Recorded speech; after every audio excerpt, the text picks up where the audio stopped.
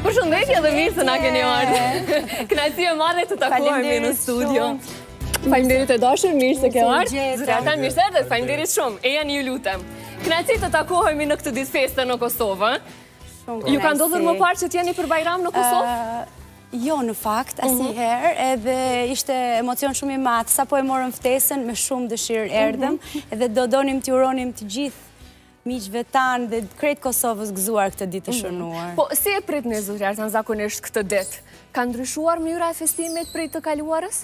Thënë drejt, nuk kam qenë shumë vite jashtë shtetit, kam mhm. qenë në Turqi 18 vjet, dhe kur kisha mundësi vija për të mhm. festu Bajramin, dhe Bajramin e festojmë Në mënyrë klasike, bëjmë një kurban, zakonisht bëhemi disa familje për të bërë një kurban të mhm. madh, bëjmë kurban dhe e festojmë zakonisht mhm. në mënyrë tradicionale shumë nëpër shpitë tona.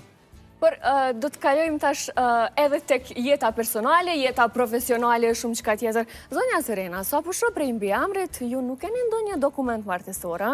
Jo, nuk jeni ende të martuar? Vetëm bashkëjetojnë? Vetëm bashkëjetojmë dhe kemi dhe një vajzë mhm. të vogël. Në fakt, kjo ka qenë zgjidhja, zgjedhja jonë. Mhm. Shumë presion kemi pas prej familjeve, prej të dyja palëve, sepse ata donin që ne ta bënim një martesë, qoftë edhe mhm. një celebrim, të martoheshim, qoftë edhe në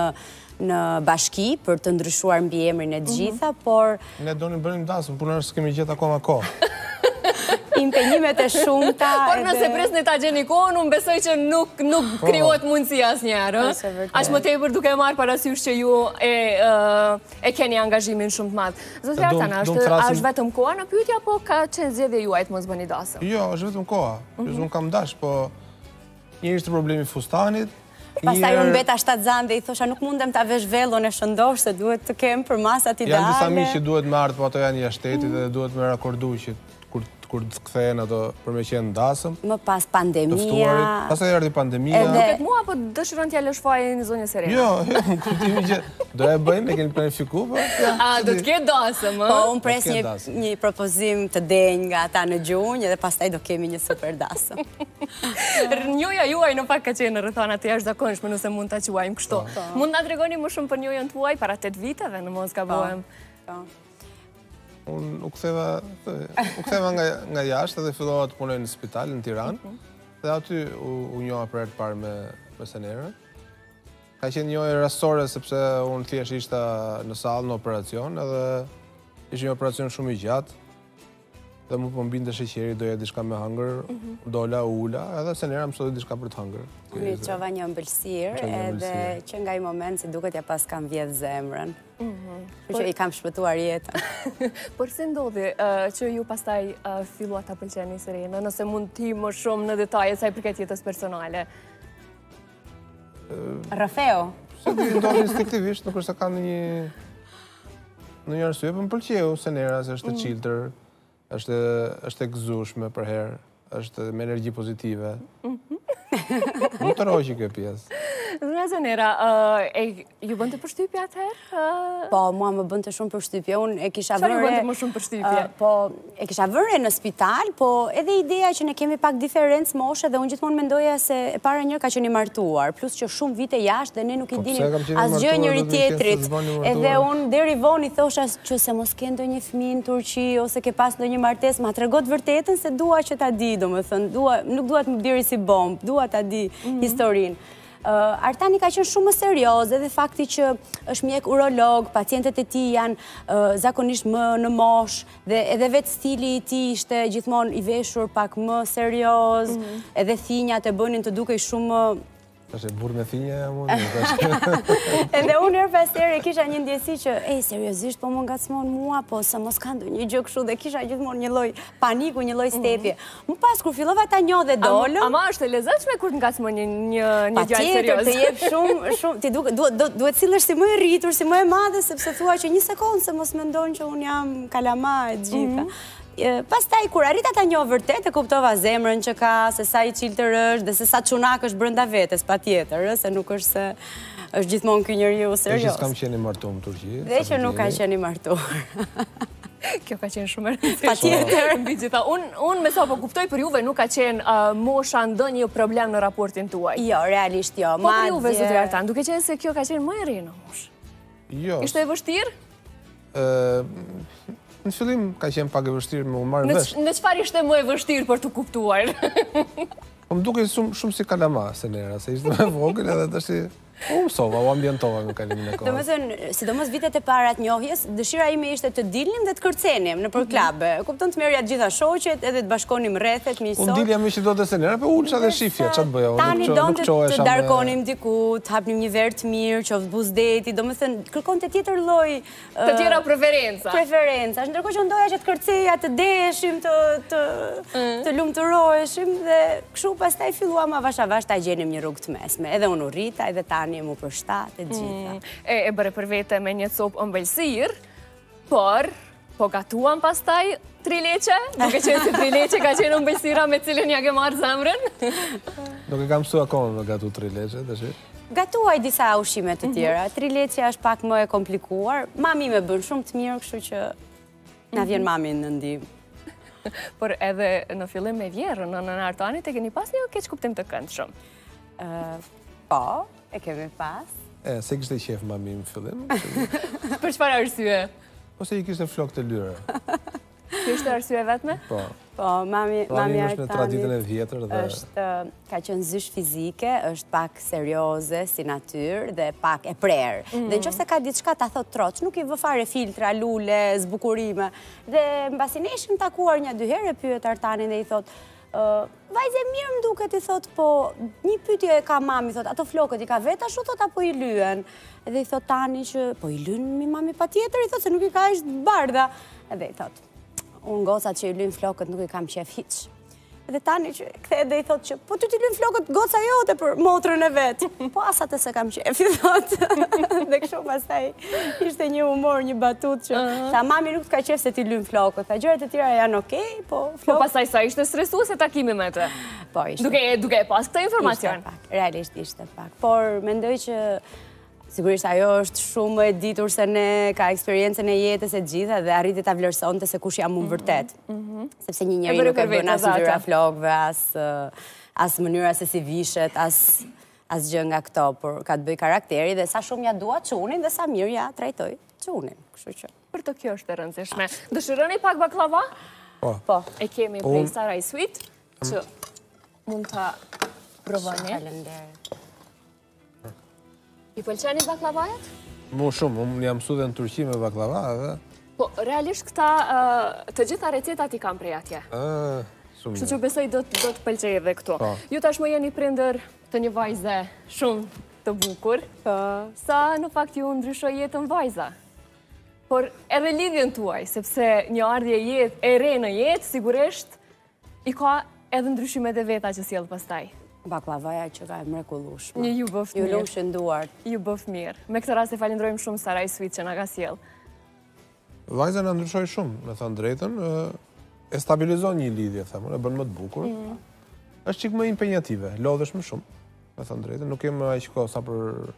sa më përpara për për ne të dy për veten tonë. Mhm. Po është bukur. Është një lodhje e bukur. Nuk ka një formulë dhe asnjë shkollë për prindërimin, se për gjithçka tjetër ne jemi mësuar që të hapim të lexojmë një libër apo të bëjmë një shkollë, një formim dhe të jemi më të zotë në atë punë, të mhm. perfeksionohemi. Ndërsa prindërimi është një është një art që vazhdon dhe perfeksionohet me kalimin e viteve. Dhe vetëm me përvoj. Dhe vetëm me eksperiencë me përvoj. Edhe ne si prindër vazhdojmë mësojmë përditë gjëra të reja, edhe përpiqemi të kuptojmë dhe të mos të bëjmë gabimet e prindërve tanë. Ne jemi bërë në një moshë pak më të madhe prindër, relativisht në krahasim me moshën që kanë patur prindërit e mi dhe unë shpeshherë ato, ato traumat apo ato problemet që kanë patur prindërit e mi gjatë rritjes time, dua që mos t'i ke, mos t'i transmitoj tek rritja e vajzës. Dhe këtë gjë e diskutojmë herë pas here me Tanin. Ndoshta bëj unë ndonjëherë ndonjë gabim dhe tani më korrigjon. Po keni gjuhë të përbashkët megjithatë në rritjen e vajzës? Po, jemi të dy shumë liberal dhe duam që ta rrisim fëmijë të lumtur atë dhe duam që ajo të ndihet e lirë në vetvete, jo që t'i ketë gjërat t'i bëjë e detyruar se ashtu do na lumturonte ne. Ne duam që ajo të bëjë zgjedhjet e saj në jetë që ajo të jetë e lumtur për veten e saj. Mhm. Sepse shpeshherë ne kur kthehemi dhe analizojmë vendimet tona në jetë, themi që këtë e kam bërë se kështu bëja më të lumtur mamin, por këtë ma ka kërkuar babi me domosdoshmëri, mhm. ndërkohë që ne duham që fëmijët sot të jenë të lumtur ata për veten e tyre, jo për ne. Duhet ta heqim pjesën e egoizmit nga vetja dhe ta kuptojmë që ata janë qenie të lira, individë të lirë dhe duhet të jenë ata të duhurit për jetën e tyre nesër. Vajza ka dy emra në mos gabohem në shqip dhe turqisht, pse vendosët kështu? Në fakt jemi zënë nëntë muaj për këtë gjë, sepse unë doja shumë emër me S, mhm. dhe më pëlqente emri Selen, edhe pse ishte emër turk, e kisha shumë dëshirë, ngjante me Senera dhe doja t'i vija një emër që përngjante me mua, duke qenë dhe mhm. vajzë, ndërsa Tani donte medoemos me pas një emër shqiptar vajza. Edhe zgjodhëm emrin Tana, sepse është si filmi i parë shqiptar, mhm. përngjason me Tanin, edhe vajza zgjodhi që ne ta thrasim Tana, që kur ishte e vogël, nuk e kthente kokën me emrin Selen, se si duket nuk e mbushte, dhe vetëm emrit Tana ajo reagonte dhe kthente, atë njohu si emër të sajin. Mhm. Edhe te kopshti tani, të gjithë e thrasin Tana. Mhm, domethënë paskeni gjetur një mes, një gjuhë të përbashkët. Po, po. këtë vendosëm. U përmend Turqia, zotri Artan, ju për një kohë të gjatë, siç e thatë keni qëndruar atje. Ishte po. vetëm për punë, apo kishte edhe arsye të tjera? Jo, shkova për shkollë, mhm. u shkollova, pastaj pas shkollës vazhdoi specializimi, pas specializimit ndenja atje, punova, mhm. pa e kuptuar kaluan shumë vite, edhe në fund fare u lodha me thënë të drejtën, se në mërgim nuk nuk shtyhet dot për një kohë të gjatë. Është mirë në fillim, po më vonë mhm. sido që të jetë do të kthehesh në në vendin tat, sido që të jetë. Edhe pastaj unë vendosa që të kthehem këtu. Mhm. Por sa ishte vështirë riadaptimi në Shqipëri, sepse në kohën kur ju keni shkuar atje ka qenë rrethana të tjera, po. në Shqipëri po flasim, dhe pastaj e gjete një Shqipëri ndryshe, mund të themi kështu? Po. Pasi u ktheve? Po, relativisht ndryshe. Unë vija herë pas here për pushime, po gjithsesi... Po është ndryshe kur je pranë dhe punon këtu. Është ndryshe, po ka vështirësi të tjera këtu, por sido që të jetë, për mendimin tim shumë e mirë se mërgimi, mhm. sido që të jetë. Kështu që unë do kisha qejf që të ktheheshin të gjithë, pasi të rregullojnë një pjesë të jetës së tyre në mërgim, nuk kanë pse kalojnë gjithë jetën atje, mund të kthehen. Mhm. Megjithatë puna me pacientët për të dy, nuk është fare e lehtë. Është vështirë. Është vështirë. Jeni të ndjeshëm apo tashmë jeni jeni bërë imun ndaj kësaj? Unë jam akoma ende shumë e ndjeshme. Tani ka një tjetër lloj pjekurie profesionale edhe është pak më racional në nuk e sjell punën në shtëpi, hallet e punës, ndërsa unë vazhdoj i diskutoj të gjitha, qoftë edhe një rast që më vret apo mhm. që më lëndon, një rast fatkeq, unë i transmetoj këto gjëra. Tani është pak më racional, mendoj se eksperienca e ka bërë që ta kuptojë Ku mbaron puna dhe ku fillon pastaj mhm. pjesa e kohës me familjen? Do të mësojmë që ndjeshmërinë ta mbajmë për vete, mos ta mos ta shfaqim. Mhm. Sepse në fakt këtë këtë duan dhe njerëzit. Po mbaj mend një një rast ku një kolegu im u mërzit shumë dhe qau për një pacient që ishte keq, dhe familjarët e atij pacientit i tha këtij kolegu tim i tha doktorit që ti mos qaj se ti je për të qa ne kemi kushërit, jam un, janë njerëz të familjes së pacientit. Tjetër për të qa, qajmë ne. Ti po pate për të bërë një diçka për ta ndihmu, mirë. Po për të qa, ka njerëz sa të dush ai. Po me që thatë dhe ju keni ndjenja. Patjetër, po mundohemi t'i mbajmë brenda, t'i mm. fshehim, mos të t'i tregojmë. Por ishte e vështirë ta sjellësh eksperiencën tënde në Turqi edhe në Shqipëri pastaj? Po, pak e vështirë ishte, po njerëzit i pëlqejnë, njerëzit i pëlqejnë këto gjëra. Mhm. Në metodat e reja bashkëkohore të operacioneve, i pëlqejnë, dhe them se ishte relativisht e lehtë, nuk mund të them shumë e vështirë. Zonja Senera ju jeni një vajzë shumë e çiltër, siç e thatë, jeni shumë e gjallë, punëtore, familjare, si po i balancon të gjitha këto? Do të vërtetën? Sigurisht. Po bëhem copash. Do me thënë, ka raste që, do tallet me mua Beti kot për flokët, ka raste që sinqerisht unë shkoj i lyej flokët te Frizeri i Maçeve, mhm. dhe unë shkoj në shpi me bojë në kokë, se nuk më del koha që të pres në salon 20 minuta apo një orë, sepse duhet të iki patjetër të bëj diçka tjetër në shpi, dhe marr makinën dhe shkoj në shpi dhe lahem në shpi pastaj, e bëj mhm. dhe larjen dhe krehjen në shtëpi. Do me thënë, Ka, një njeri që do, i gjen kohën për të gjitha. Unë mendoj se është çështje prioritetesh dhe ku je ti e fokusuar. Patjetër që kam shumë ndihmë, kam ndihmë të jashtëzakonshme si nga mamaja e Artanit, ashtu dhe nga prindërit e mi, por edhe nga halla, nga motra e Artanit, dhe pa ato unë nuk do mundesha t'i bëja të gjitha këto gjëra që bëj, sepse është e pamundur. Por zotri Artan, sa është e vështirë ta menaxhosh një vajzë kaq kaq dinamike? Ehm, Në fakt, Senera menaxhon veten e vet, nuk është se unë... Po flas në idenë me, me e ndjekë ritmen, në kërkesa, në dëshira. nuk është shumë e vështirë, sepse... Financiarisht është pak, po. jo, edhe financiarisht nuk është pak. E përballon. Jo, sepse Senera, Senera, Senera punon vetë dhe shumicën e... Bëjmë humor. Shumicën e, e, e gjërave i përballon vetë, kështu që... Mendoj se nuk është shumë e vështirë. Mm. Vajza më shumë, kujt i ka ngja? I ka ngja Tanit, shumë, shumë. Po ty do të ngjajë kalamani i dytë, kështu që mos u bë merak. Do të thotë ka planet edhe për një fëmijë të dytë. Po të bëjmë dasmë se s'na bën fustani pastaj dhe kështu si. Bëjmë një dasmë? Kur kur kur do të bëhet kjo dasëm? Nuk e di kur. Nuk e di. Ti e ke ndarë. Jo, unë për po do flasim me njerëzit që duhet vinë, se mos janë jashtë shtetit, duhet me u rakordu. Po, se e ke lanë zotri Artanit në dorë, se po të kuptoj. Po, se në qoftë se shkon diçka keq, pastaj do thotë, shikon, nuk dite të organizoje, nuk dite të bëje. Po, asë dhe shë...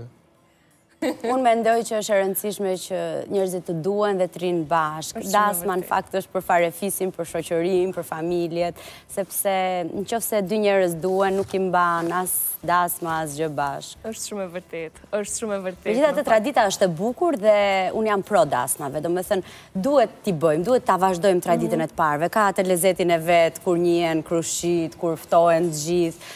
Jam pro këtyre mhm. gjërave. Po besoj edhe zotri Artan e kuptoi që po pret një propozim. Po. Një propozim konkret. Po. Duhet ta bëjmë dasmën në këtë pikë. Kështu kemi qejf ne kusarët. Po, do bëjmë po. propozim. E dasëm do bëjmë, nuk do rrimë pa dasëm. Nëse na pranoni, ne do të vijmë në dasmën tuaj, sigurisht ta sjellim atmosferën edhe prej atje, duke qenë se e keni një lidhje shumë të veçantë me njëri tjetrin. Unë ju falendroj shumë që sot keni qenë në studio, ishte kënaqësi që u takuam. Shumë faleminderit, shumë shumë faleminderit dhe gëzuar. Faleminderit shumë. Koha për marketing dhe kthehemi shumë shpejt.